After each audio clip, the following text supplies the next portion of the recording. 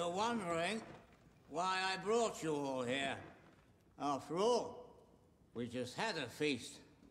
Since when does old Walder give us two feasts in a single fortnight? well, it's no good being Lord of the Riverlands if you can't celebrate with your family. That's what I say.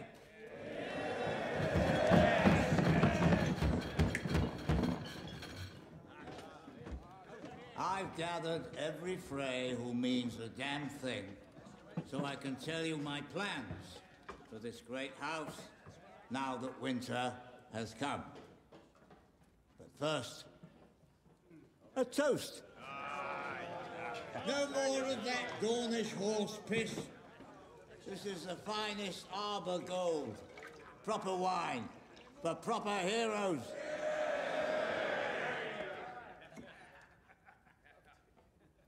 Stand together.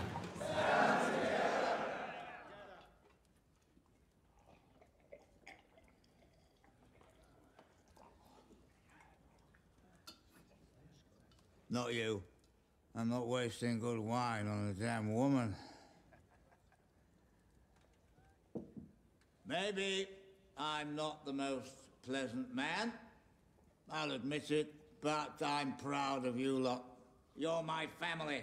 The men who helped me slaughter the Starks at the Red Wedding.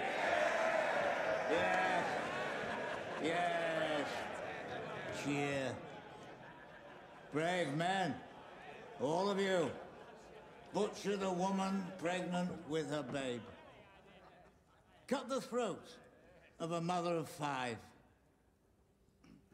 Slaughtered your guests after inviting them into your home. But you didn't slaughter every one of the Starks. No, no. That was your mistake. You should have ripped them all out, root and stem.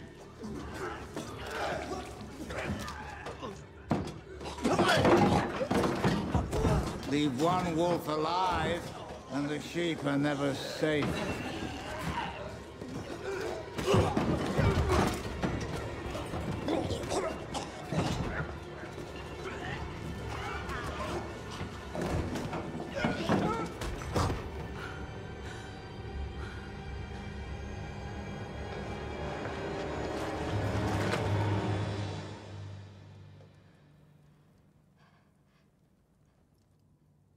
When people ask you what happened here,